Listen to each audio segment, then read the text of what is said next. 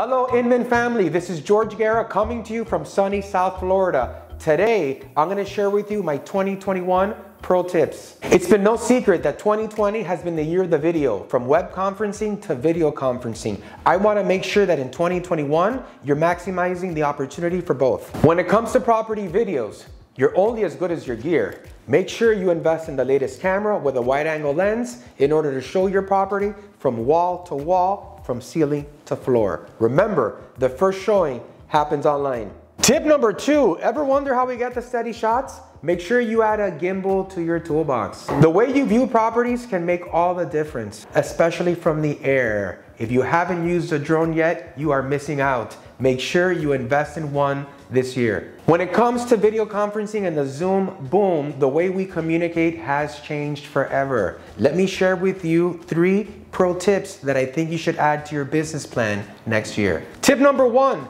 I don't want you to look like you just came out of the witness protection plan. I want your customers or your clients to see you as clear as day. So make sure you invest in a ring light. Testing one, two, testing one, two, testing one, two, testing one, two. My second tip is make sure you mic up. I wanna make sure that your customer hears you clearly. Being comfortable for long periods of time is key.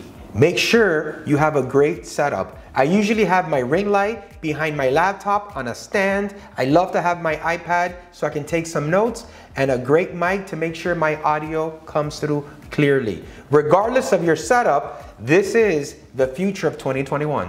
One thing that's for sure is that video is gonna play a powerful role in 2021, regardless on how you use it. My final tip is this, don't be scared, share, get it out there, sharpen your tools, and I promise it's gonna move the needle in your business.